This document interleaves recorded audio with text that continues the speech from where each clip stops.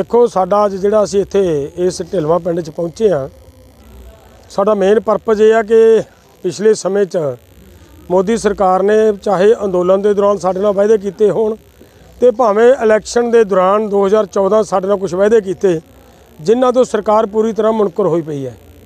ਉਹਨਾਂ ਨੂੰ ਪੂਰੇ ਨਹੀਂ ਕਰਦੀ, ਸਗੋਂ ਪੂਰੇ ਕਰਨ ਦੀ ਬਜਾਏ ਕਿਸਾਨਾਂ ਦੇ ਪ੍ਰੋਡਕਟਾਂ ਤੋਂ ਇੰਪੋਰਟ ਡਿਊਟੀ ਖਤਮ ਕਰਕੇ ਕਿਸਾਨਾਂ ਨੂੰ ਇੱਕ ਨਵੀਂ ਮਾਰ ਮਾਰਨ ਦੀ ਤਿਆਰੀ ਕੀਤੀ ਜਾ ਰਹੀ ਸਰਕਾਰ ਵੱਲੋਂ। ਇਹਦੀ ਤਿਆਰੀ ਦੇ ਵਿੱਚੋਂ ਐਸਕੇਐਮ ਨਾਨ ਪੋਲੀਟੀਕਲ ਨੇ ਪ੍ਰੋਗਰਾਮ ਲਿਖਿਆ ਸੀਗਾ ਕਿ ਅਸੀਂ ਫਰਵਰੀ ਦੇ ਵਿੱਚ ਇੱਕ ਵੱਡਾ ਇਕੱਠ ਦਿੱਲੀ ਦੇ ਵਿੱਚ ਕਰਾਂਗੇ।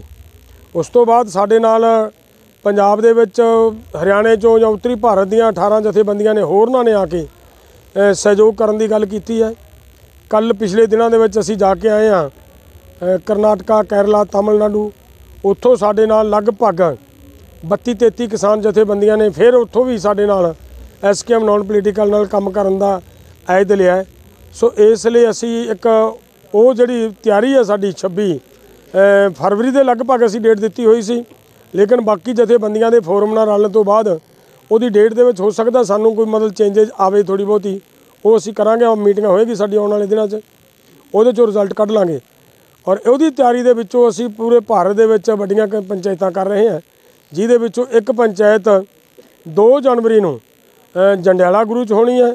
6 ਜਨਵਰੀ ਨੂੰ ਬਰਨਾਲੇ ਦੇ ਵਿੱਚ ਇੱਕ ਵੱਡੀ ਪੰਚਾਇਤ ਹੋਣੀ ਹੈ। ਉਹਦੇ ਲਈ ਅਸੀਂ ਇੱਥੇ ਆਪਦੇ ਕਿਸਾਨਾਂ ਨੂੰ ਅਵੇਅਰ ਕਰਨ ਦੇ ਲਈ, ਜਾਗਰਿਤ ਕਰਨ ਲਈ ਉਹਦੀ ਤਿਆਰੀ ਦੇ ਵਿੱਚੋਂ ਅਸੀਂ ਇਹ ਜਿਹੜੀਆਂ ਪਿੰਡ ਪਿੰਡ ਜ਼ਿਲ੍ਹਾ ਪੱਧਰ ਦੇ ਉੱਤੇ, ਬਲਾਕ ਪੱਧਰ ਦੇ ਉੱਤੇ ਮੀਟਿੰਗਾਂ ਕਰਕੇ ਕਿਸਾਨਾਂ ਨੂੰ ਜਾਗਰਤ ਕਰਨ ਦੀ ਕੋਸ਼ਿਸ਼ ਕਰ ਰਹੇ ਹਾਂ। ਉਸੇ 'ਚੋਂ ਅਸੀਂ ਇਹ ਕੀਤਾ ਹੈ। ਦੇਖੋ, ਮੇਰੀ ਬੇਨਤੀ ਇਹ ਹੈ ਕਿ ਇਹ ਤਾਂ ਸਪਸ਼ਟ ਹੈ ਕਿ ਕਿਸ ਪਿਛਲੇ ਦਿਨਾਂ 'ਚ ਵਰਲਡ ਬੈਂਕ ਨੇ ਬੜਾ ਕਲੀਅਰ ਕਰ ਦਿੱਤਾ ਹੈ ਇੱਕ ਉਹਨਾਂ ਦੇ ਵਰਲਡ ਬੈਂਕ ਦੇ ਹਵਾਲੇ ਤੋਂ ਹਿੰਦੀ ਅਖਬਾਰ ਦੇ ਵਿੱਚ ਖਬਰ ਲੱਗੀ ਹੈ ਕਿ ਵਰਲਡ ਬੈਂਕ ਨੇ ਆਪਣੀ ਨੀਤੀ ਸਪਸ਼ਟ ਕਰਦਿਆਂ ਕਿਹਾ ਕਿ ਸਾਨੂੰ ਭਾਰਤ ਦੇ ਵਿੱਚ ਕਿਸਾਨ ਨਹੀਂ ਮਜ਼ਦੂਰ ਚਾਹੀਦਾ ਹੈ। ਔਰ ਨਾਲ ਇਹ ਸਪਸ਼ਟ ਕੀਤਾ ਕਿ ਇੱਥੋਂ ਦਾ ਕਿਸਾਨ ਆ ਜਿਹੜਾ, ਉਹ ਕਦੇ ਬਿਜਲੀ ਤੇ ਸਬਸਿਡੀ ਮੰਗਦਾ ਹੈ, ਕਦੇ ਪਾਣੀ ਤੇ ਸਬਸਿਡੀ ਮੰਗਦਾ ਹੈ, ਕਦੇ ਤੇਲ ਤੇ, ਕਦੇ ਬੀਜਾਂ ਤੇ ਸਬਸਿਡੀ ਮੰਗਦਾ ਹੈ। ਇਸ ਲਈ ਇਹਦੇ ਹੱਥੋਂ ਤੋਂ ਜ਼ਮੀਨ ਫੜੋ, ਉੱਥੇ ਵੱਡੇ ਕਲਸਟਰ ਤਿਆਰ ਕਰੋ।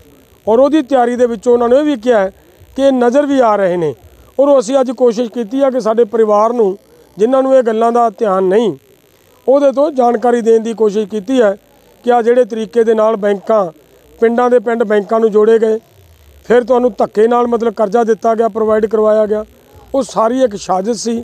ਸਾਜ਼ਿਸ਼ ਦੇ ਤਹਿਤ ਸਾਡੇ ਕਿਸਾਨਾਂ ਦੇ ਕੋਲੋਂ ਜ਼ਮੀਨ ਲੈਣ ਦੀ ਇੱਕ ਇੱਛਾ ਦੇ ਨਾਲ ਇਹ ਸਾਰਾ ਕੁਝ ਕੀਤਾ ਜਾ ਰਿਹਾ ਹੈ।